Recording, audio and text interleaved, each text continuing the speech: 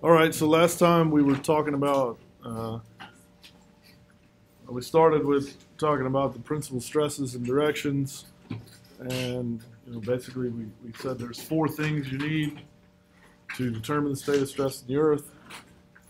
Um, you know, essentially that's the three magnitudes of the principal stresses.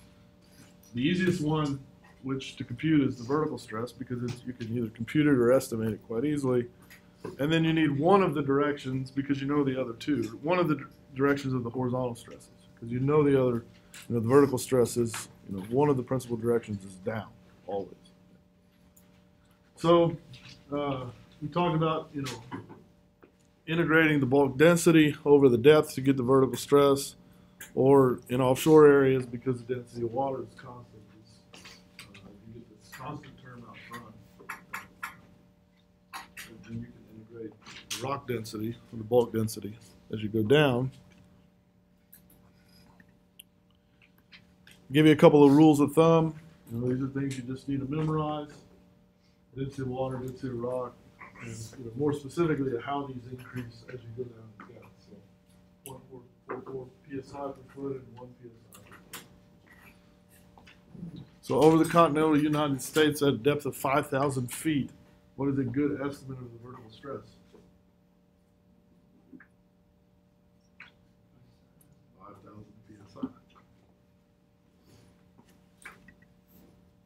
All right, so this is a that's where we covered last time. This is a new slide, and so uh, you know if you actually have density logs, then you can use that data. Specifically, you can integrate the density logs over the depth to determine what the vertical stress is. And so this is a fairly common. Um, uh, what you'll see in a density log, uh, initially there's there's this constant region, uh, and then this is all an extrapolation because at uh, shallow depths in the seafloor, because of the sedimentary nature of the sa- you know the densities are low, and so the the data in that region is not always very good. And so a lot of times in these uh, density logs, you'll see sort of a gap in the data at shallow depths, and that's associated with the that the, the density is hard to measure in that region. So, and as you get down a little deeper, um, these are measured from you know from actual drilling. Um, uh, sonic density logs from drilling. And so now I'm going to stand up on my soapbox for a second. I hate this plot. I hate everything about this plot. Unfortunately, um, the, unfortunately, this is the common way that these plots are presented. Density is always, I mean, uh, depth is always presented on the vertical axis, right? Um, but you know, aside from from you know really obviously things that are wrong with this plot, like first of all, density is not grams per centimeter. It's grams per centimeter cube. Right? So I just took this plot right out of the book. Density is not grams per centimeter, it's grams per centimeter cubed. And then also look at this. So they use SI units on this axis, and then feet, English units on that axis. But that's annoying also. Right? So the mixed units on the plot. Um, but also, you know, the uh, and this is just more of a pet peeve, and because in the past I, you know, I've recorded uh, me complaining about this plot and posted it on YouTube. Then I get people like commenting. As a professor in petroleum engineering, you should know that this is the standard way these are. Are, uh, these plots are presented. Yeah, I know that. It Doesn't mean they're right, because from a mathematical perspective, you know, you should never label a plot like depth versus density. It's not a fight. Depth is not like fighting density. You know, like when two, like Tyson versus Holmes. It's not a fight. It's it's depth as a function of density. That's how you read that plot, right? That's a proper label for that plot. Depth is a function of density. Now, does that even make sense? That implies that density is the independent variable. That implies that you're changing the den- density and, and measuring the depth. And of course, it's not what you're doing. You're drilling, you're changing the depth and measuring the density.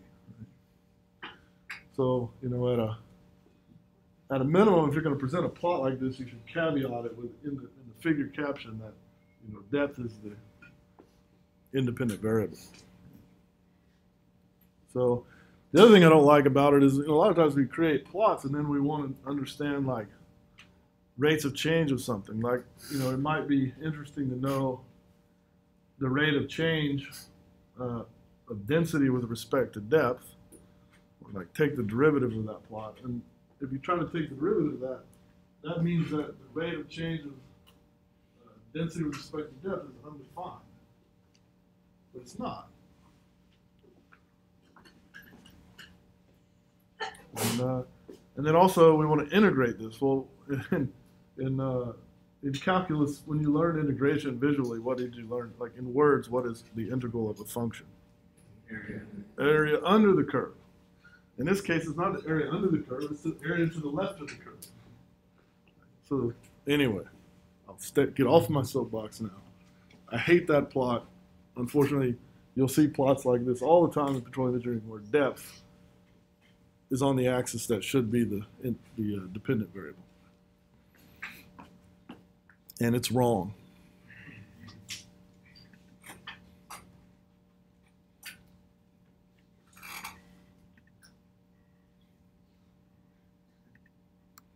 Yeah, and so again, you know, the integration in this case is actually integration, the area to the left of the curve, right, uh, as it was plotted.